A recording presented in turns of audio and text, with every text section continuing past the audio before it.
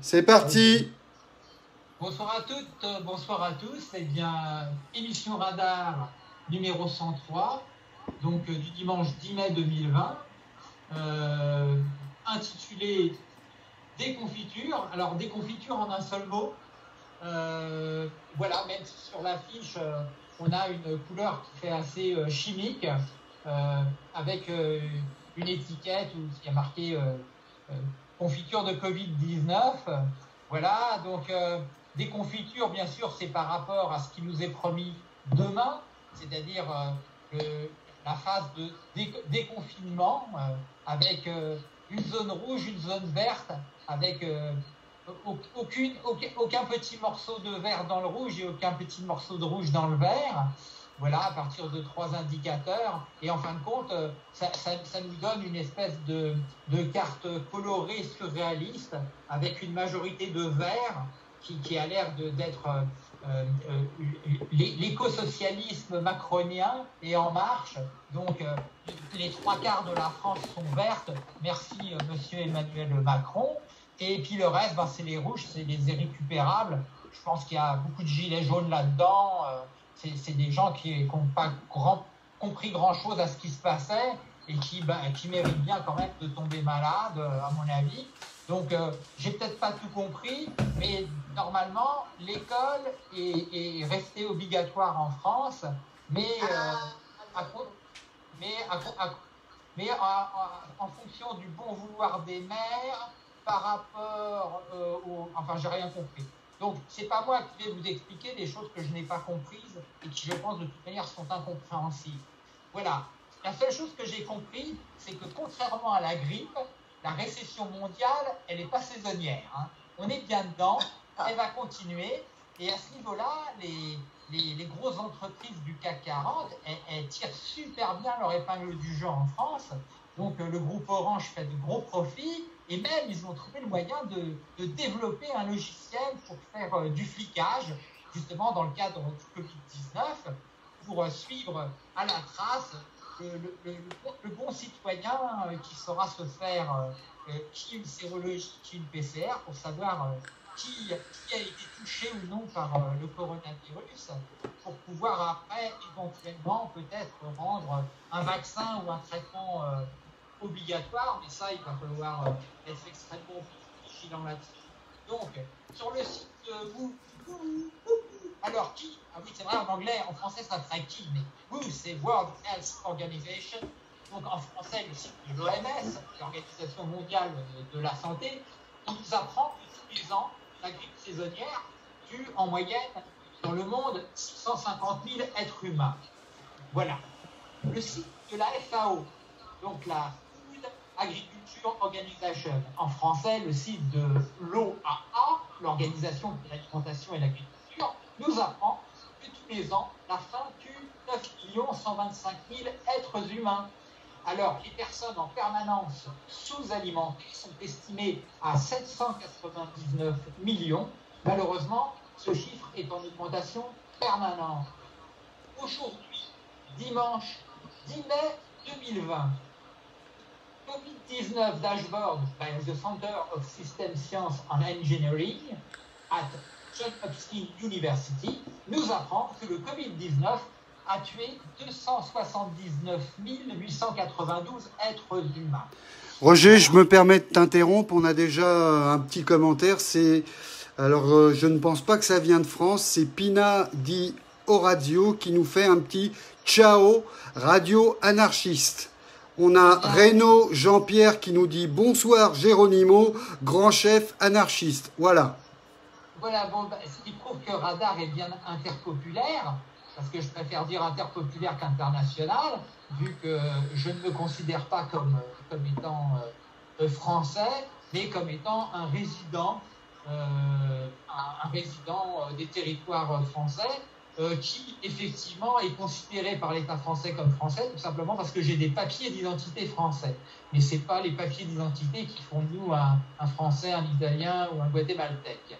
Donc, par contre, il y a autre chose que, l'on sait de manière certaine. Donc, il faut quand même travailler sur ce qui est certain. le taux de mortalité en cas de contamination, en France, il est de 14,88%, alors qu'il est de 15,40% en Allemagne. C'est-à-dire qu'il y a un rapport de plus de 3 fois inférieur en, Allemagne quand on est contaminé. On a plus de 3 fois moins de chances de mourir du Covid-19. Alors pourtant, c'est la même souche virale et on a la même appartenance à la gouvernance financière et privée qu'est l'Union européenne. Donc, je sais que là, il y aura, j'ai besoin d'explications parce que moi, je n'explique pas ces différences. Donc, c'est là où on pourra revenir de manière humoristique à cette zone rouge et cette zone verte, à cette carte où il y a toutes les régions du nord-est qui sont rouges et tout le reste, les, trois autres quarts qui, sont verts. je vais pas revenir dessus, j'ai dit, ce que je n'en pensais pas au début de l'émission parce que je pense qu'il n'y a rien à en penser. Par contre, euh, par rapport à cette espèce de passeport intérieur des 100 km, où d'une certaine manière, si tu agis pour la libre circulation des marchandises et des capitaux, eh bien, il semblerait que tous tes déplacements seront dérogatoires et que tu puisses même prendre l'avion, le, train, euh, même à travers l'Europe, alors que eh euh, si tu désires militer pour euh, te défendre, par exemple, contre l'installation dérogatoire d'une antenne 5G à côté de chez toi, eh bien, si l'antenne se trouve à 101 km, on, faudra certainement un bon samaritain muni d'une matraque et peut-être d'une bombe à fragmentation ou de quelque ou de désencerclement qui saura euh, t'apprendre à vivre, euh, euh, je dirais, de manière citoyenne, c'est-à-dire en laissant, en laissant faire les entreprises, car, car aujourd'hui, c'est bien de ça dont il s'agit. La libre circulation des capitaux et des marchandises est prioritaire sur la liberté de circulation des personnes. Et donc, on voit bien que nous sommes moins que des biens matériels ou des services, et, ça, c'est de manière complètement euh, décomplexé et aujourd'hui déconfiné. Voilà. Donc, euh, je ne sais pas si euh, Daniel Clément Cornu nous entend et nous écoute, mais sinon, il, peut se connecter. Je lui ai envoyé le lien parce qu'il voulait me communiquer des informations par rapport au lycée autogéré de, Paris, donc qui se trouve à, à Vaugirard dans le 15e. Donc, je ne vais pas vous en parler moi, vu que je ne sais pas exactement de quoi il veut nous parler. Et sinon, je tenais quand même à préciser euh, que notre ami André, euh, qui nous aidait tous les jeudis par rapport à nos présences pour euh, libérer des prisonniers, des jeunes prisonniers politiques saoudiens dans le couloir de la mort, eh bien, on est sans nouvelles d'André Philippi. Et donc, s'il y a une personne qui regarde l'émission Radar et qui pourrait nous donner des, des nouvelles de notre ami André, qui est malheureusement sans domicile fixe, et c'est pour ça d'ailleurs que j'aimerais bien que notre ami euh, ouais, c'est Marc euh, toujours. de Pau nous, essaye de joindre euh, notre, notre groupe Skype, la discussion. Je ai envoyé le lien sur Facebook pour qu'il nous parle justement de. non, non, on fait ça par Messenger. Pour, pour toutes les non, pas du tout, pas du tout. Qu'est-ce que tu marques non, j'ai perdu le contact avec euh, Pierre, donc je viens de relancer la communication à, travers Messenger. Il est juste un peu troublé parce qu'il croit que c'est un coup de fil, mais c'est Messenger que j'ai lancé. D'accord, ok. Et donc là, ce qu'on a vu avec euh, Pierre Merechkowski, c'est qu'on va avoir Pierre Merechkowski en audio, et si la communication Messenger revient sur euh, le portable de Marc, eh bien on aura aussi Pierre Merechkowski en vidéo, euh, qui pourra nous lire un de ses textes. Donc j'en revenais à Andrei. Donc euh, Andrei Filippi, bah, qui est, allez, il est italien comme moi je suis français, vu que c'est un terrien, mais il était SDF sur Paris. Il a participé bah, au mouvement des Gilets jaunes, Nuit debout, et il s'était fait tabasser par la police parce qu'il dormait, il essayait de dormir au sec et au chaud dans un, dans un parking, et il s'était fait voler toutes, toutes ses affaires, voilà. Et euh, voilà, depuis que euh, nous, nous ne pouvons plus nous réunir place de la République à cause du confinement. Euh, d'ailleurs, à ce sujet, j'ai envoyé jeudi dernier à la préfecture une demande pour le 14 mai, vu qu'on sera plus en confinement, et je n'ai toujours pas de réponse, donc je ne peux toujours pas vous dire si euh, notre demande sera accordé ou pas. Je n'ai pas de réponse de la préfecture de police de Paris. Alors, il y a autre chose que j'aimerais dire, parce que euh, le 30 mai 1431, euh, il y, a, un son et un souffle énorme. Je ne sais pas d'où il vient. Marc euh, C'est probablement mon ordi, mais je peux rien y faire. D'accord. Donc, le, 30 mai 1431, Jeanne d'Arc est brûlée vive. on prétend que son cœur est retrouvé intact dans les cendres du bûcher, alors sans que la préfecture de Rouen ne trouve aucune trace d'amiante. Hein. Elle est béatifiée en 1909, c'est-à-dire à la veille de, la Grande Guerre, donc du grand carnage pour les industriels du charbon et de l'acier, et elle est canonisée en 1920, c'est-à-dire neuf années avant la signature des accords de Latran entre Mussolini et le pape Pie XI, et presque un demi-millénaire après son décès.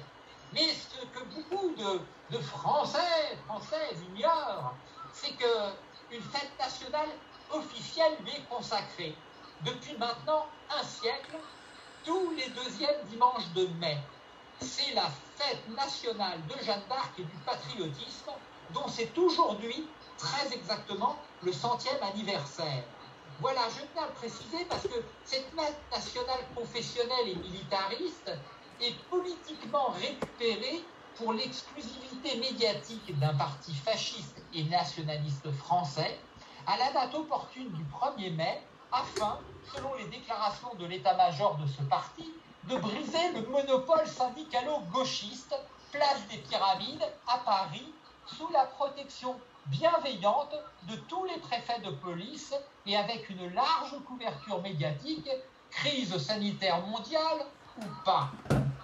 Alors, le Parti national anticapitaliste, le NPA, euh, a fait son agite propre à Montreuil alors le parti des concombres masqués solidaires obtiendra un bon retour médiatique sur investissement militant que son état-major anticapitaliste espère capitaliser dans les urnes funéraires du système lors des prochaines échéances électorales si la météo de notre démocratie le permet dans les six prochaines années. Parce qu'il y a Poutou qui a accordé une interview pour bien expliquer que les candidats du, Parti national anticapitaliste qui s'étaient présentés pour le premier tour des municipales en mars 2020 comptaient bien jouer leur rôle de parti politique sur les six prochaines années dans notre démocratie. Voilà. Euh, sinon, de manière anecdotique, et avant de passer la parole à notre ami euh, Pierre Merechkowski, tu l'as retrouvé en vidéo sur Messenger? Euh, oui, mais pour le moment, je vois son plafond. Enfin, il fait, c'est nocturne. Il n'y a pas trop de lumière, mais je pense qu'il doit pas être loin. Donc, une, dernière petite réflexion avant de passer la parole à notre ami Pierre Merechkowski. Euh, grâce à Jacques Attali et à son nouveau livre, L'ordre cannibale, nous avons désormais la certitude que l'empathie n'est pas un organe, contrairement au cœur. Voilà. Donc, dans, dans, cet ouvrage, M. Jacques Attali nous prévient que notre corps est une marchandise. Donc, euh, lorsque je dis que nous sommes dorénavant chinois, c'est exactement ce qui est le cas euh, des, des, républicains euh, démocratiques chinois, qui, dont on fait, lorsqu'ils sont opposants, ils sont envoyés en prison, on fait leur groupe tissulaire, et quand il y a un riche Canadien ou Américain qui a besoin d'un rein ou d'un foie, eh bien, il est exécuté. Et, ah bon, on attend que l'avion, quand même, de, la personne qui a demandé le rein ou le foie arrive. Et une fois qu'il est sur place, la personne était exécutée et l'organe encore tout chaud est greffé euh, euh, sur la personne qui l'a acheté entre 100 à 250 000 dollars. Voilà.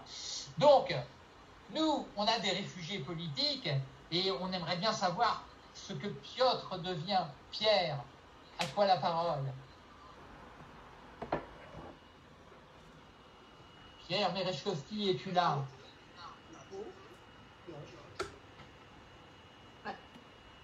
Il a été très, très touché par euh, les mots que, je l'avais lu, le texte, euh, les ordres pour les enseignants dans les écoles, dans les lycées et collèges.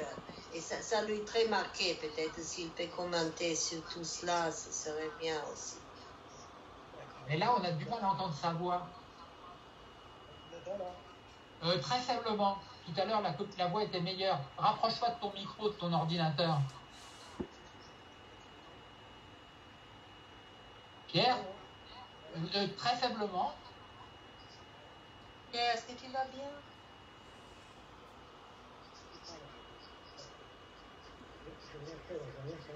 Ah là c'est mieux. Là, là, là, tu, tu es plus près du micro, on t'entend mieux.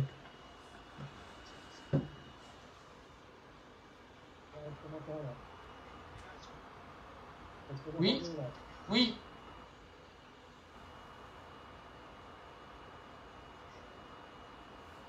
Boubou.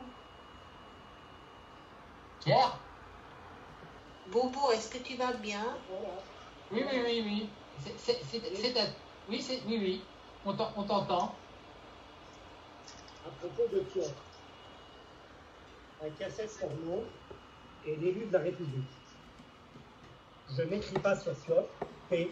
Je ne parle pas de Piotr P. 19-02-2020. Bureau de la psychologue, interlocutrice psychologue. Je dis, je ne veux pas, je ne dois pas, je ne cherche pas, je n'ai jamais voulu tenter de écrire ou de filmer sur Piotr P. Pourquoi? Je réponds à la question. Parce qu'il va me retrouver, puis me tuer si j'écris sur lui. Déjà, elle, l'autre, m'a menacé d'envoyer ses compagnons me tuer, et je suis allé voir les loupards qui m'ont dit Monsieur, pourquoi avez-vous des idées si noires? Il ne faut pas avoir des idées si noires. Si vous croyez vraiment que si une femme me demande de vous casser la gueule, je vais aller chez vous vous casser la gueule pour 50 euros et que je vais ainsi risquer d'aller en tôle pour 50 euros, je ne vous connais pas, monsieur. Alors je vais vous dire, je vous casserai la gueule si vous me donnez de l'argent, mais pas 50 euros, mais beaucoup d'argent. Ou bien si vous avez dit du mal de ma mère, ou bien si vous créez votre business sur mon terrain, la psychologue. Quel est le rapport entre la prison et votre écrit À lui qui n'est pas Piotr. Eh, n'oublie pas, toi et moi, nous ne devons pas avoir des idées noires. Tu le sais, le peuple est bon, beau. Même le flic qui éborne les gilets jaunes, il ne le fait pas par haine, mais juste parce que nous l'avons transformé en machine à tuer. En machine, tu comprends Et toi, tu disais avant que tu es un artiste politique, pas un dissident, mais un artiste politique. Alors, pourquoi tu fais ce que tu as fait? Pourquoi as-tu oublié? Tu veux être sur le devant de la scène médiatique? Faire trembler les puissants et les riches au nom de la vérité? Il n'y a pas de vérité, tu le sais. Seule la vérité est révolutionnaire. C'est Trotsky et sa qui l'a dit. Et c'est lui qui a massacré nos compagnons anarchistes de Grunstadt et organisé la famine en Ukraine. Tu te souviens? Tu te souviens, Piotr? La vérité seule est révolutionnaire. La vérité, la vérité. Mais quelle vérité? Celle de l'Inquisition? Celle de Piotr Karamazov? Celle qui, comme disait le comte Tolstoï, devait, pour notre bonheur, nous envoyer en long convoi à la campagne pour nous donner le goût de la terre, du travail manuel? Moi aussi, j'avais honte de donner mon vélo au réparateur de vélo lorsque les pneus de mon vélo étaient crevés. De quelle vérité parles-tu, Piotr? Alors que c'est Sonia qui a écrit répète. Sonia, la femme de Tolstoï. Alors pourquoi maintenant ton seul but consiste à ce que l'on parle de toi partout et que tu veux que tu appelles les puissants et que tu veux que ceux que tu appelles les puissants aient peur de toi comme si tu étais le châtiment ultime. Je ne sais pas de quoi j'ai peur, Piotr. Toi, moi, nous, que faire?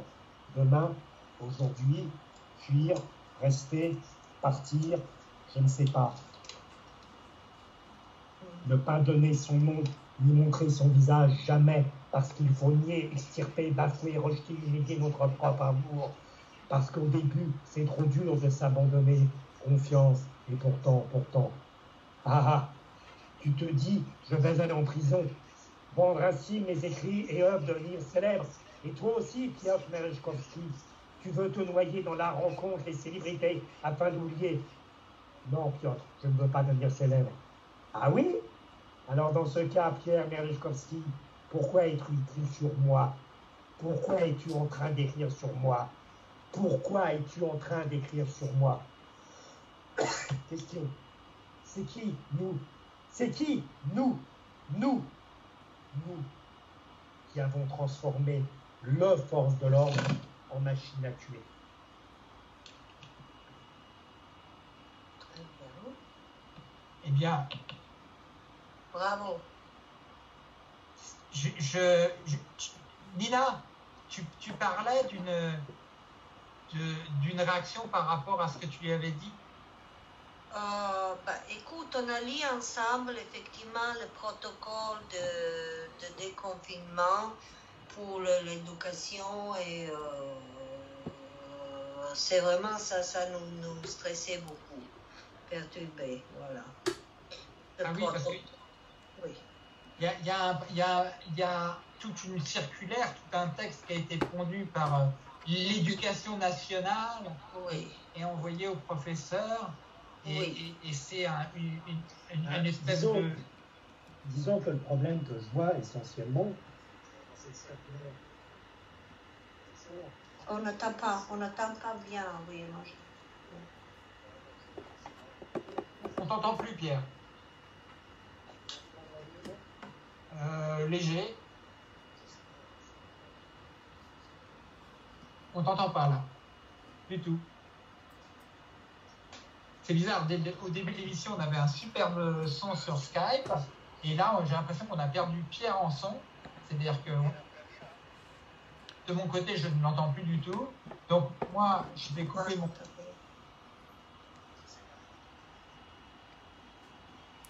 Pierre? Faut que tu parles plus euh, près de ton ordi parce que là, on t'entend euh, sur Messenger, mais pas dans l'ordi. Moi, je t'entends pas du tout sur Skype. Oui, non, il faut, que. C'est sur Skype le son. Il faut que tu t'adresses à ton ordinateur comme tu étais au début. Sinon, on, on ne t'entend pas du tout.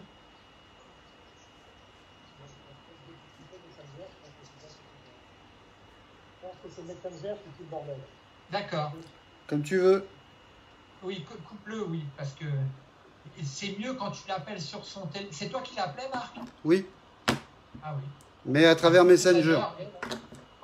Allô? Oui, on t'entend là. Bon, voilà, donc c'est Messenger qui fout le bordel. Voilà, alors je disais que la circulaire, elle était problématique, que j'ai lu euh, chez Luna, parce qu'en fait, essentiellement, d'après ce que j'ai lu, il est demandé aux professeurs de justifier le confinement.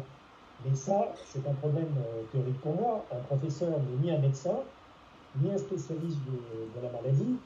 Il n'est pas plus apte de justifier ou de ne pas justifier un protocole médical. Voilà. Je ne comprends pas très bien qu'on demande à un professeur de se substituer à une autorité médicale et, de, se positionner en disant que le, confinement, que le masque, enfin, etc., sont une bonne chose. D'autant plus malheureusement, euh, il n'a pas été toujours très clair de ce qu'il fallait faire. Au début, il fallait pas porter de masque. Maintenant, il faut porter des masques. Donc voilà, je, suis très étonné qu'un professeur doive en fait euh, reprendre un discours politique d'un ministre de tutelle. Or, me semble-t-il, l'école est justement faite pour être laïque, ne pas être aux ordres du pouvoir en place et d'être neutre. Donc, elle n'a pas à être le porte-parole du ministre. Ça, je ne comprends pas. Un enseignant ne peut pas relayer la parole du ministre. Le ministre de l'Éducation nationale, c'est tout à fait légitime qu'il parle, je donne son avis, il n'y a pas d'embrouille pour rien. Mais les professeurs ont un devoir de neutralité, justement, et n'ont pas à, diffuser la parole du ministre. Ils ont à lire des conseils du ministre, éventuellement, mais ils, n'ont pas à diffuser ce que dit le ministre. Voilà, je, je pense que c'est un, c'est un, abus de pouvoir oui, bah, des enseignants. le, protocole, le protocole nous demande de nous enseignants, enseignants à, à, à, faire des choses qui n'appartiennent pas à l'enseignement. Justement, euh, moi, après j'avais lu le protocole, euh, la moitié des demandes, la moitié, bon, c'est-à-dire un protocole de 70 pages, euh, ce qui nous demande vraiment à ne faire pas notre métier, à n'exercer pas notre métier d'enseignant, mais d'être à la fois euh, les psy, à la Françoise Dolto. Moi, je ne suis pas entraînée, euh, personne n'a entraîné. Nous, nous, enseignons les, matières, les sujets différents, mais, mais ce n'est pas la psychiatrie, ce n'est pas la psychologie.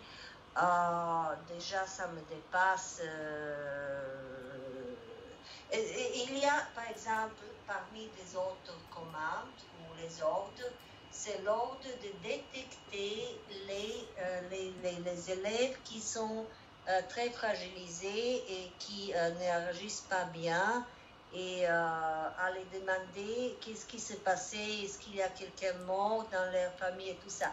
Tout ça, ça, moi je, je, suis éduquée quand même un petit peu, tout ça, ça appartient au travail d'un psychosociologue ou euh, la sociologie d'enfance de, ou la, psychologie, la pédopsychiatrie. Donc, euh, avant de, de, de, joindre le collège, peut-être au début de juin, euh, je dois m'entraîner avec euh, soit Boris Cyrulnik ou Françoise Dolto, tout ça. Je dois, je dois changer le, mon enseignement euh, original. Oui, mais c'est. Excuse-moi, je complète un tout petit peu ce que vous là mon ressenti. Bon, moi, pas, je, pense que, que, la majorité des professeurs, quand ils voient un enfant qui ne va pas bien, bah, naturellement, qu'ils vont lui parler gentiment, enfin, lui demander de qu'est-ce qu'il a, enfin, d'être en bon contact. Il n'y a pas de nécessité d'une directive d'un ministre disant au professeur, écoutez les enfants, les, les, professeurs, ils écoutent. Bon, il y a peut-être des abrutis, hein, mais globalement. Non, mais faire un sondage, une enquête, une, enquête de, de, de façon, euh, d'une façon de pédopsychiatre, c'est que je ne me suis pas entraînée. Les gens, ils passent 5 ans de psychiatrie, de psychologie, d'analyse, 5 ans d'études pour, pour s'entraîner d'être un pédopsychiatre. Après, donner un diagnostic, c'est pas un professeur qui fait faire, c'est un métier, bien sûr. Un professeur peut être à l'écoute des enfants qui sont dans le malheur, mais le traitement, un diagnostic, évidemment, qui a raison de c'est un pédopsychiatre, enfin, c'est quelqu'un dans son métier, bien sûr. Moi, je pense qu'on est dans la même configuration, c'est-à-dire que, effectivement, les, les, les professeurs n'ont pas la formation euh, ni les compétences euh, pour cet accompagnement euh, quasiment, effectivement, pédopsychologique. Ou, ni, ni le rôle, hein, Roger, hein, ça n'est pas du tout leur rôle. Hein. C'est pas leur rôle, mais, mais, mais c'est de toute façon, quand on voit qu'on a que la, cette crise sanitaire, elle est gérée entre guillemets localement, c'est-à-dire par État-nation en France, par un spécialiste de l'optimisation fiscale et par un transfuge d'Areva. Et donc, c'est tout naturel que ces deux euh, il leur semble naturel qu'eux ayant pris euh, des responsabilités de vie et de mort, notamment en ce qui concerne le rivotril, euh, avec une circulaire pour l'injecter dans les EHPAD. donc, eh bien, ils, estiment que ils peuvent passer la patate chaude comme ça euh, au professeur en leur disant euh, euh, gérez, mais surtout faites en sorte que ça ne coûte rien. Enfin, ça, ça, ça, je suis pas contre ce que tu dis, mais d'une manière globale, je, je pense que je ne vois pas l'utilité, en fait, qu'il y ait un ministre qui donne des directives à des professeurs. C'est un système dépassé, euh, bien, voilà, de l'existence soviétique, où le parti, ou l'organisation anarchiste, temps qui arrive, donnerait des directives aux professeurs, je pense que c'est une mauvaise voie. Euh, je pense qu'en fait, dans une école, quelle qu'elle soit, il faudrait créer euh, des rencontres entre les professeurs, les élèves et les parents, et que tout le monde soit plus ou moins sur un pied d'égalité, et qu'on réfléchisse ensemble à ce qu'on ferait, et que les décisions ne seraient prises que par consensus. Voilà, les directives, d'où qu'elles viennent, qu'elles soient, à mon sens, qu'elles soient d'un ministre, d'un Brejnev ou même d'un anarchiste, même si ça, si ça sa sympathie, me, semble un contresens. Il n'y a, pas à dire aux gens ce qu'il faut faire. Il n'y a pas à dire aux gens ce qu'il faut faire, jamais. Quand on dit à quelqu'un ce qu'il faut faire, on, est déjà dans, le, on a déjà un pied dans je pense. Et il faut susciter, à mon avis, des espaces de parole, et de vous, dans les écoles, où, encore une fois, seront réunis bah, ceux qui ont envie de parler, soit par Skype, si c'est possible. Si les gens ont peur, bah, ils ne viennent pas, c'est par Skype. Si ceux qui n'ont pas peur, bah, ils viennent en physique, enfin chacun fait comme il croit devoir faire et que c'est cette assemblée permanente de profs, euh, d'élèves et de, parents d'élèves bah, qui décideront bah, qu'est-ce qu'on fait, comment on gère la crise euh, actuelle. Voilà. Mais que les directives venant d'en haut, ou les, ou les manifestent, ou les écrits, dit, enjoignant aux gens ce qu'ils doivent faire, je répète, pour moi, c'est l'antichambre du village. Voilà. Surtout si les gens ont de bonnes euh, intentions au départ. Je conclurai juste là dessus même si c'est un peu brumeux, Le personnage d'Alyosha dans les parcs Ramazov, qui est le plus paisible et qui est le plus bon, en quelque sorte, qui essaye de, que tout le monde s'aime autour de lui, dans la suite avait prévu d'écrire, devenir un commissaire politique. Voilà. Euh, merci Pierre. On a une, remarque de Fabrice David qui dit qu'il est tout à fait d'accord avec ce que tu es en train de dire.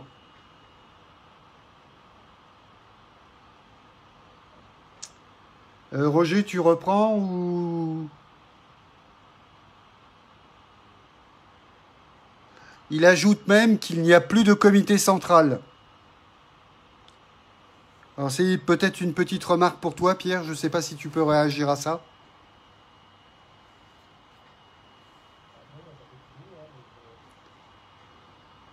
D'accord, ben écoute, euh, Roger, je ne sais pas où t'en es. Excuse-moi, j'avais coupé mon micro, donc vous ne m'entendiez pas. Ce que, je, pense par rapport à, la réflexion, que ce soit de Fabrice David par rapport aux propos de Pierre, c'est que euh, moi, au-delà du fait qu'on n'a pas à obéir euh, à quelques directives venant de qui que ce soit, parce que euh, effectivement, le, principe même de la responsabilité, ce n'est pas de suivre des directives ou des ordres, c'est de, comprendre comment on peut soi-même se déterminer et faire des choix. Et donc si on passe notre vie à avoir euh, des béquilles et des personnes qui nous disent ce que l'on doit faire, ce que l'on doit penser, on, perd progressivement cette capacité euh, d'autodétermination individuelle. Mais c'est valable aussi pour euh, des communautés humaines entières. Aujourd'hui, la, la, chose la plus grave, c'est pas tant les gens qui nous voudraient du mal que les gens qui veulent notre bien. Et ça, c'est mon moyen de rebondir sur ce que vient de dire Pierre. C'est-à-dire que euh, aujourd'hui, j'entends beaucoup de conneries euh, par rapport à la fondation euh, Bill et Melinda Gates, donc des, gens, voilà, des, des plutocrates qui font la charité comme ça c'est toujours fait, qui effectivement semblent être responsables parce que ben il y a conflit d'intérêts, mélange de genres. Donc euh, effectivement, ils envoient des équipes euh, médicales faire des vaccinations de masse euh, dans des pays, que ce soit en Afrique ou en Inde. Et il semblerait bien qu'actuellement, effectivement, il y a une procédure de, des autorités indiennes envers la fondation Bill et Melinda Gates parce qu'ils auraient provoqué des, des, infirmités et, des morts euh, chez des personnes euh, qui auraient été vaccinées, euh, je dirais, sans avoir été réellement averties de ce qu'on leur injectait.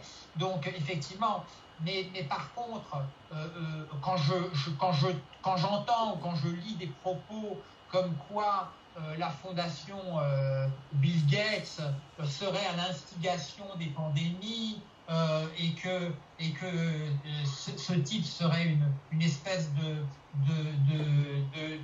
de, crapule malfaisante qui préméditerait la mort des Africains ou des Indiens. Non, moi je, pense euh, réellement que tous ces gens-là, ils font de l'optimisation fiscale. Quand tu es très riche, pourquoi est-ce que tu crées une fondation?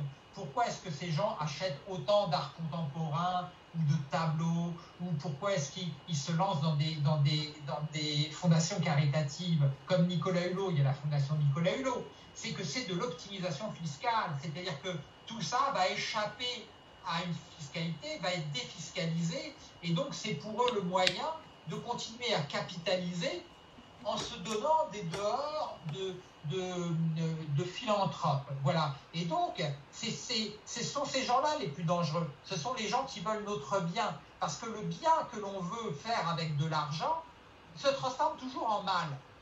Parce qu'on ne peut pas guérir avec de l'argent les maux que provoque l'argent. Et donc, c'est ça le vrai problème aujourd'hui. Ces gens-là sont des technophiles aussi. Donc, ils estiment que les problèmes que pose la science vont être résolus par la technologie. Eh bien non. À chaque fois que la science euh, ou la technologie euh, pose, apporte une nouvelle solution, elle apporte avec au moins 10 nouveaux problèmes. Et donc, c'est une course sans fin où les conditions euh, humaines vont, en se dégradant, Et l'homme lui-même est, de plus en plus impuissant parce que le monde devient de plus en plus complexe. Regarde par exemple ce soir nos problèmes d'audio, de vidéo, de trucs comme ça. Si on était réunis autour d'une table avec une simple caméra, on n'aurait pas tous ces problèmes de communication. Donc on va dire que c'est un plus quand même dans le cadre du confinement de pouvoir se parler comme si on était ensemble. Mais qu'est-ce que ça fait aussi? À la limite, ça nous permet d'accepter quelque chose de complètement inacceptable, qui est là, de rendre des libertés fondamentales conditionnelles. Et donc, à partir du moment où une liberté devient conditionnelle, elle n'est plus liberté. Et ça, c'est le vrai fond du problème. C'est-à-dire que quand je parlais de ces passeports intérieurs, pour, pour reprendre ce qui se pratiquait dans les ex-républiques socialistes soviétiques, où on, était obligé de montrer son passeport intérieur pour changer de région, pour changer de ville. Et un commissaire politique pouvait nous, demander de justifier notre déplacement. Eh bien, aujourd'hui, je crois que de la même manière que toutes les lois sur l'état d'urgence sont passées dans la loi, c'est-à-dire que le caractère exceptionnel de l'état de notre urgence, et c'est pour ça que c'est bien que Pierre soit là, il est passé dans la loi. C'est-à-dire que maintenant, euh, écouter des conversations téléphoniques ou perquisitionner chez les gens, avant, il fallait qu'un juge euh, euh, justifie ce genre de choses. Mais on l'a bien vu avec des syndicalistes, la police est arrivée chez eux, potron minet, et, et, a renversé tout ce qu'il y avait dans la maison sans avoir à justifier quoi que ce soit. et après, les gens sont emmenés en garde à vue, et en garde à vue, maintenant, pour jusqu'à trois jours jusqu'à trois jours. Et pendant cette garde à vue, tu es torturé dans le sens que si tu demandes à faire pipi et qu'il n'y a qu'un fonctionnaire, le fonctionnaire te dit qu'il est tout seul et qu'il ne peut pas t'emmener pisser. Donc tu n'as plus qu'à te pisser dessus.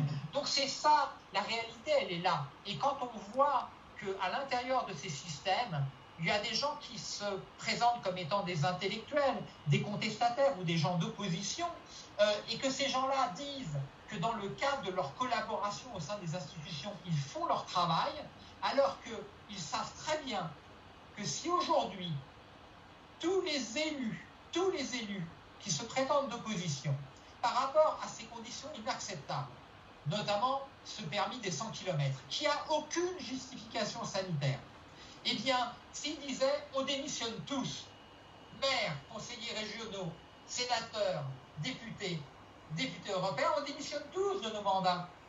Il faut un certain courage politique. Mais obligatoirement, la, crise institutionnelle qui s'en suivrait obligerait à trouver des solutions rapides. Et s'ils ne le font pas, c'est parce qu'en fin de compte, le système leur convient. Et comme le dit souvent Pierre Merechkovski, ce qu'ils veulent, c'est le changement dans la continuité. Eux, ce qu'ils veulent un jour, c'est pouvoir utiliser le 49.3. Eux, ce qu'ils veulent un jour, c'est pouvoir aller perquisitionner chez leurs opposants. Roger, à propos d'optimisation, euh, tu vas régulièrement euh, en Suisse. Euh, tu nous dis souvent c'est pour planquer tes lingots, mais tu reviens toujours avec. Tu ne les places pas tes lingots en Suisse? Ah, disons que c'est pour, pour tu sais que moi je suis un profiteur du RSA comme Pierre Merechkovski, donc je, suis un, parasite de, de, la société. Je, je, ne le fais pas par choix c'est-à-dire qu'on m'a supprimé euh, l'accès euh, à, mon métier parce que j'estimais avoir un droit de regard euh, sur le contenu de ce que je montais.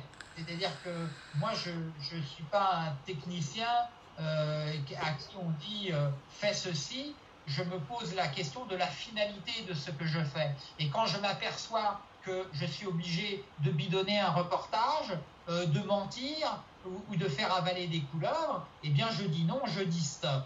effectivement, comme mes enfants ont été suffisamment grands, euh, des, choses que je faisais réellement à contre-coeur et je dirais sous la contrainte euh, matérielle euh, de, de, donner à manger à mes enfants, de payer un loyer et tout ça, dès que j'ai pu me soustraire à ça, eh bien, je, l'ai fait. J'ai dit carrément que je ne ferais pas telle ou telle chose. Et à partir de là, bah, on m'a supprimé mes clients, on, m'a pu euh, réembaucher, alors que euh, toutes les personnes qui ont professionnellement travaillé avec moi ont toujours été obligées de reconnaître mes grandes compétences malgré effectivement mes très mauvaises qualités humaines, parce que je suis réellement une putain de tête de con et je suis quelqu'un d'extrêmement euh, têtu. Et quand j'ai une idée dans la tête, je n'ai pas ailleurs.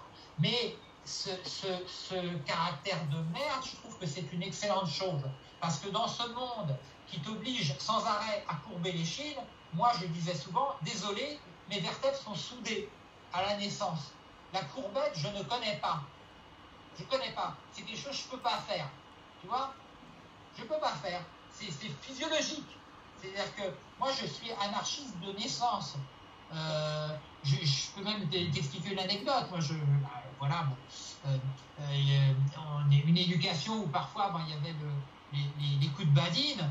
Ben, à 7 ans, je prends la badine et je roule de coups mon père avec la badine. Je ne me contente pas de prendre la badine. Je lui fais ce qu'il me fait. Voilà.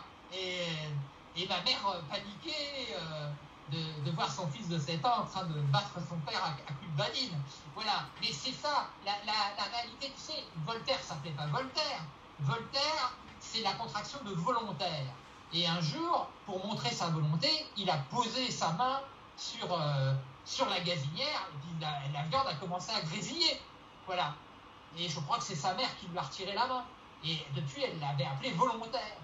Le volontaire, c'était aussi un, putain de caractère de cochon. Et effectivement, j'ai peu d'affinité avec Voltaire, mais la dernière fois, on a eu une discussion très intéressante où Marc est intervenu euh, par rapport au tremblement de terre de Lisbonne.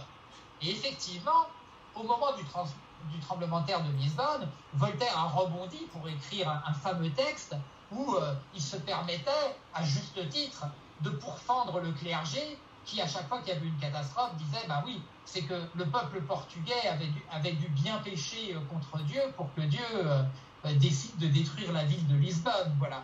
Et, donc, c'était un moyen, effectivement, c'est le siècle des Lumières. C'est-à-dire que, mais l'erreur que fait l'homme, l'erreur actuelle que fait l'homme, enfin actuelle, de ces 200 dernières années ou de ces 300 dernières années, c'est que l'homme a quitté le monde euh, antique euh, avec toutes ses lourdeurs, ses clergés, ses superstitions, euh, mais il est rentré dans les lumières à reculons. C'est-à-dire, et c'est pour ça qu'il se casse souvent la gueule, parce que les yeux, elles sont devant, ils ne sont pas derrière la tête. Hein.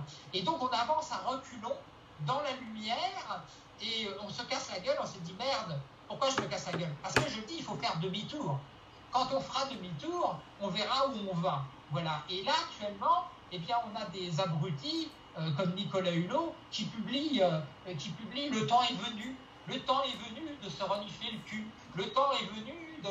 C'est d'un ridicule euh, total. on dirait une espèce de catéchisme, mais sans Dieu.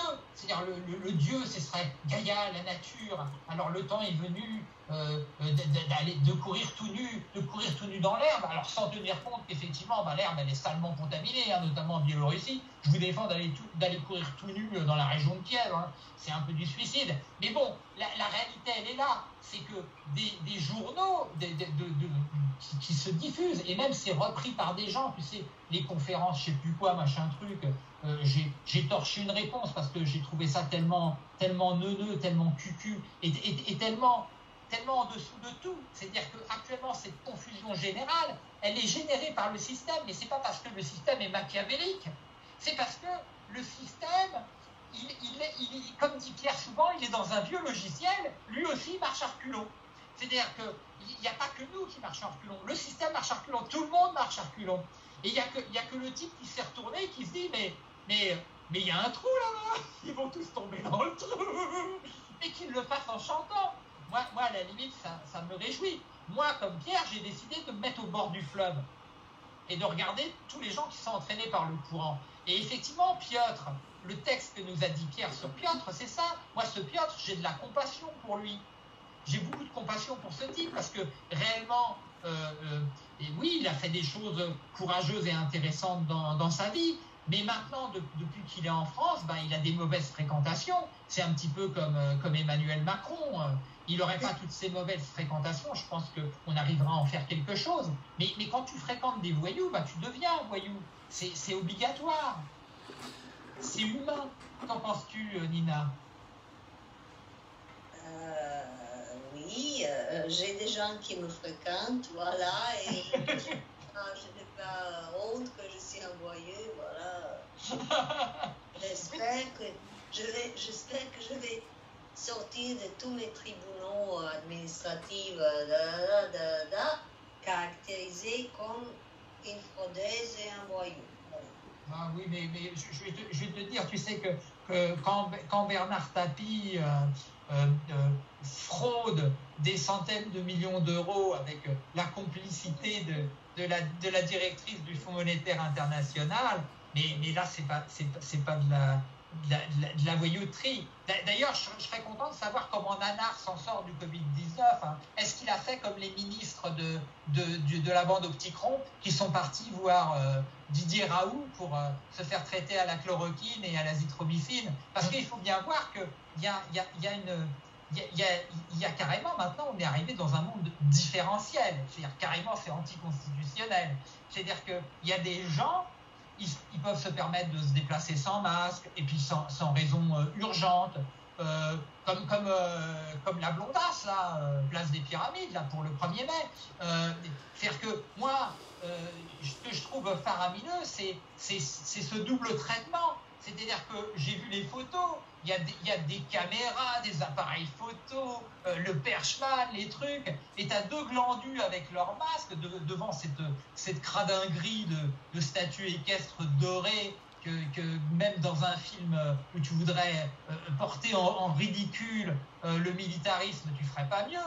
ça me fait penser au, dernier film de, comment est-ce qu'il s'appelle, ce, ce, ce, réalisateur qui aimait bien tripoter les jeunes femmes, là. Euh, ben, il a fait un film euh, alors sur euh, l'affaire Dreyfus. Alors dans l'affaire Dreyfus, alors c'est ce film, c'est une suite d'images d'Épinal, une suite d'images d'Épinal. c'est un hommage à l'armée. C'est un hommage à l'armée. Alors Dreyfus est un bon militaire. Alors il est combattu par des mauvais militaires, mais à la fin c'est les bons militaires qui gagnent. comment il s'appelle déjà ce réalisateur il ce réalisateur de merde là Roger, euh, Roger, justement, je voudrais intervenir parce que l'autre fois, tu sais, quand on faisait notre mise au point euh, tous les trois, euh, on a eu une réflexion dont tu as parlé juste avant. Et c'était à propos du tremblement de terre qui avait eu lieu le 1er novembre 1755 à Lisbonne. Et puis, tu nous disais que Voltaire avait réagi contre le clergé parce que justement, le 1er novembre, c'est la fête de la Toussaint. C'était pour montrer pour montrer quelque part qu'il y avait une incohérence euh, vis-à-vis euh, du système, de notre société, des États, à toujours, à toujours vouloir nous guider à travers les religions, à nous filer des modèles d'instruction, etc. Euh, comme, comme tout à l'heure pour les professeurs, enfin les instituteurs au sein des écoles, de leur donner la marche à, la, marche à suivre alors qu'ils sont dans la transmission du savoir. Ils savent très bien ce qu'ils ont à faire avec le public, notamment euh, les élèves qu'ils ont, euh, s'ils sont, s'ils sont choqués par rapport à tout. Non, mais justement, c'est ce que je suis en train de dire ils sont suffisamment autonomes pour savoir ce qu'ils ont à faire avec les gens qui sont autour, autour d'eux. Et là, je vais faire un plan justement sur euh, une photo que Fabrice David nous a envoyée euh, à travers le fil de Facebook. Alors, il nous dit en anglais, je vais lire son post. The time has come together to lay the foundation stone of a new world. Euh, est-ce que si tu as besoin que je traduise, Roger, tu peux me le dire? Non, non, non, c'est exactement ce que je disais, le temps est venu. C'est l'affiche des présidentielles de, de, Jean Lassalle, tu vois. C'est l'extrême droite euh, mondiale, c'est la stupidité, c'est le fascisme mondialisé. Non, le, y a pas de, le, vrai problème, tu sais, c'est comme tu l'as dit pour le tremblement de terre, c'est tous ces connards qui veulent donner une signification à quelque chose qui est absurde. Exactement. Et, c'est ça qui est Et, ce qu'on disait aussi, Roger, ce qu'on disait aussi et qui est relativement important à, mon sens, c'est qu'on on parlait de catastrophes et que pour moi, les catastrophes étaient intrinsèques à l'humanité. Donc aujourd'hui, peut-être qu'on en vit une qui n'est euh, pas une catastrophe au sens naturel du terme, mais il en sortira quelque chose de forcément plus fort par la suite. Mais ce qu'on aimerait tous y compris toi, c'est qu'on se réveille ensemble pour leur foutre un gros coup de pied au cul à tous ces États, à tous ces gouvernements, à toutes ces républiques dont on ne veut plus, parce que je me souviens bien que tu avais dit au début du, de, de notre émission qu'on faisait tous partie de la même planète quand tu parlais d'André. Et effectivement, on, est emprisonné par ces États à travers les frontières pour nous dire que oui, ici vous êtes en France, mais la France c'est du vol, la terre ne leur appartient pas. Voilà. Et la terre n'appartient à personne. Exactement. Et, certainement pas à l'humanité. C'est-à-dire que nous, on est, on, est, on est là en tant qu'hominidés depuis à peine 7 millions d'années, tu vois, donc un peu de lapin. Donc la, réalité, ce sont les gens qui veulent donner du sens. Euh, c'est par exemple l'autre code, la première dame française, là, la femme à Macron, qui au moment de, l'incendie de Notre-Dame dit c'est un signe de Dieu. Ça, ça, ça, vraiment, c'est de la stupidité. C'est-à-dire que tu la propulses 500 ans en arrière, elle est, elle est couleur locale. Hein. Complètement. La petite cornette, les trucs, euh, tu vois. C'est-à-dire que ces gens-là, c'est des abrutis, quoi. C'est-à-dire, ils sont anachroniques, quoi. C'est-à-dire qu'elle sort du Moyen-Âge, la, vieille. Il hein. n'y a pas de problème. Hein. C'est-à-dire qu'elle, c'est le changement de logiciel, elle ne sait même pas ce que c'est qu'un logiciel. Hein. Par contre.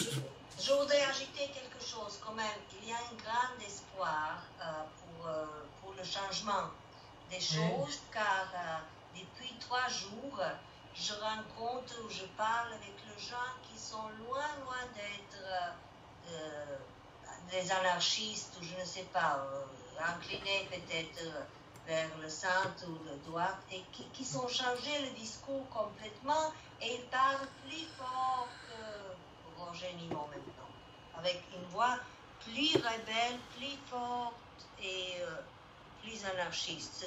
J'étais complètement abasourdi, étonné. Oui, mais tu sais pourquoi? C'est la même chose actuellement. Tu as un type qui ose se, dire gilet jaune, qui était candidat aux dernières élections européennes, alors que, bah oui, comment dire, les gilets jaunes, ils ont dit boycottons les élections, ils ont franchement pas tort.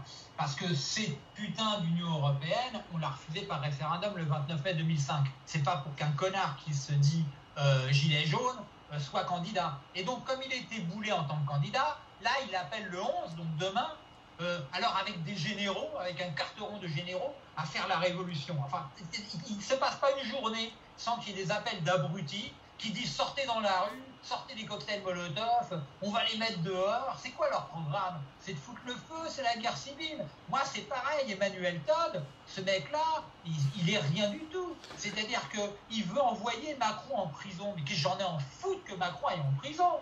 Roger, justement, j'ai encore un, petit truc à dire parce qu'on en a parlé euh, la semaine dernière par rapport à nos rassemblements, etc. Euh, moi, je suis agent SNCF, donc on fait rouler des trains, hein, je suis dans le ferroviaire. Et justement, on attend plus ou moins la reprise d'activité pour retourner euh, en service. moi, je travaille sur la gare Saint-Lazare. Et justement, ce qu'on a décidé de faire, c'est de, refuser euh, le déconfinement et de rester chez nous, euh, à continuer à travailler à distance, puisque nous avons les moyens de le faire. Voilà. Oui, et puis surtout, dans, ton cas, comme, bah, tu n'es pas conducteur de train et que les trains ne sont pas encore robotisés, parce que c'est ce que veut faire la direction, euh, la, réalité, la réalité, en fin de compte, ils la connaissent bien, ils la planifient, et elle est extrêmement malhonnête. Et c'est cette alors, à, alors à propos de ce que tu dis, ils entretiennent la confusion. Roger, à propos de ce que tu dis euh, au niveau du ferroviaire, il y a déjà un projet qui est en cours d'automatiser toutes les lignes de RER e à travers l'île de France euh, pour faire un petit peu euh, ce qui a été fait sur la ligne 14. Oui, bien sûr, mais c'est valable pour toutes les lignes de métro, pour toutes les lignes de, RER, e et après, ça va être valable pour les trains euh, aussi. Euh, à grande vitesse. Et, et, et, intercités pour les TGV. la faisabilité de toutes ces choses-là, justement, est directement liée. C'est-à-dire qu'après euh, l'automatisation des productions, maintenant, on va arriver aux robots autonomes, et donc, effectivement, se pose le problème de gens qui vont devenir jetables. Et aujourd'hui, on te dit, le problème, les masques, il y a une augmentation de 1000% par rapport au prix qu'ils avaient avant la crise. Mais ce n'est pas, pas un problème. Le problème, c'est qu'on nous propose des masques jetables. Ça, c'est le vrai fond du problème. Parce que là, il n'y a pas de changement de paradigme. C'est-à-dire que le masque jetable, c'est la société de consommation c'est je te prends, je te jette, et, c'est et à aucun moment on se pose la question, ah oui, une famille avec deux gamins, les deux travaillent, les gamins vont à l'école, combien de masques il leur faut par jour? Mais alors, à presque un euro le masque, ils font comment les gens? Ça va, ça va être pire qu'un deuxième loyer. Donc, c'est cette incohérence interne et surtout le fait qu'à aucun moment, euh, les, gens ne disent ce que l'on sait. Ce que l'on sait, c'est que ce virus, effectivement, quand les températures augmentent, sa, mortalité baisse, mais elle, ne, devient pas euh, négative. Et donc, c'est pas comme la grippe où tu as un grand pic saisonnier et puis après, tu as des périodes où tu n'as pas, quasiment pas de grippe. Là, j'ai bien l'impression, hein, je ne suis pas virologue, mais j'ai bien l'impression. Il va falloir qu'on apprenne à vivre avec, comme avec le sida. Voilà, vivre, avec. Et le vivre avec, euh, c'est un peu comme le vivre ensemble. Quand on voit comment est géré le vivre ensemble, euh, euh, tout du moins dans, cette zone de territoire où je suis né et où je, où je vis, où je suis résident, eh bien, euh, je dirais oui, j'ai la chance de ne pas être noire euh, et de ne pas être une femme. Parce que si j'étais une femme noire, euh, eh bien, j'aurais beaucoup de problèmes dans, dans l'existence qu'en étant un homme blanc, je n'ai pas. Et donc, si constitutionnellement nous sommes tous égaux, il semblerait que dans ce système, il y a des gens qui soient plus égaux que les autres. Et c'est vrai que, comme le disait Coluche, il disait le capitalisme, c'est l'exploitation de l'homme par l'homme, et le syndicalisme, c'est l'inverse, eh bien, je pense qu'on arrive un petit peu dans cette situation où on s'aperçoit qu'il y a des avions d'affaires qui se déplacent dans le ciel de France. Donc, il y a des gens qui prennent leur Falcon. Hein. Euh, je ne sais pas si pour aller chercher le pain, je m'en fous. Et disons qu'il semblerait qu'il y ait des gens qui aient une liberté de déplacement qui dépasse très largement les 100 km hein, et qu'ils l'ont parce qu'ils ont les moyens financiers d'avoir un avion. Tout à fait et point barre. Et donc, c'est l'argent qui rend libre. Donc, autant le marquer sur le fronton des, mairies. Euh, euh, liberté, égalité, fraternité entre les riches. Voilà. C'est-à-dire que les riches, ils sont extrêmement fraternels entre eux. Moi, j'ai jamais vu euh, Emmanuel Macron mettre un coup de pied dans les couilles à Mohamed Ben Salman ou un truc comme ça, quoi. Non, non. Ils se, ils se passent le plat, ils sont, ils sont sympas entre eux, ils rigolent ensemble. J'ai même vu Poutine rigoler avec euh, MBS. Enfin, c'est des gens, ils ont l'air bonne compagnie, c'est des rigolos. Hein.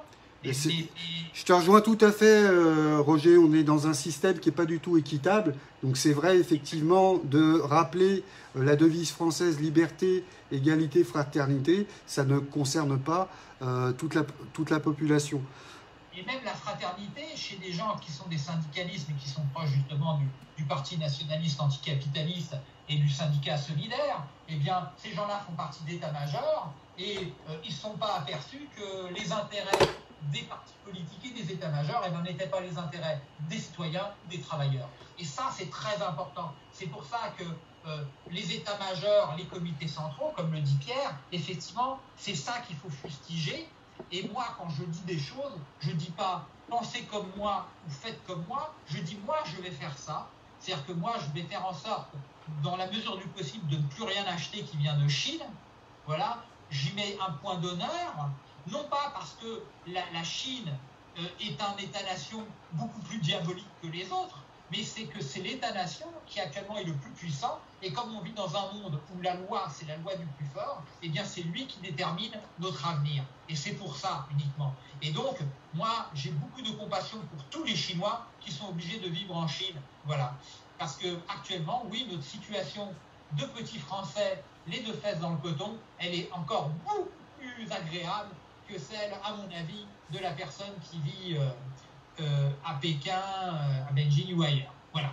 Donc, le mot de la fin, Roger, parce qu'on est, on a dépassé 21h30. Oui, mais c'est pas grave. La déconfiture, effectivement, un, ne pas écouter les collapsologues qui hier te disaient euh, que tu avais plus qu'à te suicider et qui aujourd'hui te disent le temps est venu de t'embrasser sur le cul. Donc déjà, ces gens-là qui continuent leur truc, ils, vont, ils espèrent le deuxième tour des municipales en juillet ou en septembre, j'en ai un à battre, je m'en bats les couilles. Et après, les autres qui continuent à nous tordre le cou avec, en installant la, la 5G et en volant nos cotisations sociales. Ça, ça non plus, on ne va pas l'accepter. Mais c'est pas avec comme programme Macron démission, Macron destitution où, euh, on va mettre, où on va mettre le feu, qu'on va changer quoi que ce soit, parce que le paradigme de, des sociétés hiérarchiques, c'est la violence et c'est le combat des chefs permanent. Et moi, j'en ai rien à foutre des combats des chefs. Merci Lina Merci, ciao. Merci Pierre Merci Roger. Voilà, et puis bah, euh, à la semaine prochaine. euh, et je, je, je ne sais pas encore, mais je sais que avec comme on est dans la zone rouge, je sais que nous allons être encore au moins jusqu'en juin à faire nos émissions le- tous, les, tous les dimanches. Salut à tous les trois et à- et à la semaine prochaine. À la semaine prochaine. Salut, salut, ciao.